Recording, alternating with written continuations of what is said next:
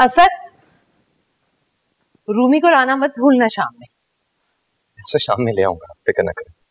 खैरियत तो है आज बड़ी बहू की बहुत याद आ रही है। अपनी अपनी बात होती है वरना किसी के होने ना होने से कोई फ़र्क नहीं पड़ता। वैसे मुझे तंज किए बिना आपका गुजारा नहीं होता ना। तुम्हारी जो हरकतें हैं ना उन पर सिर्फ़ तंज किया जा सकता है तारीफ़ नहीं। अरे चलो यार, ये तो यहाँ शुरू हो गया, हम चलते हैं। असद, अगर तुम मेरी बहू को लिए बगैर आ गए ना वापस तो उल्टे पाँव वापस भिजवाऊँगी तुम्हें याद से लेकर आना।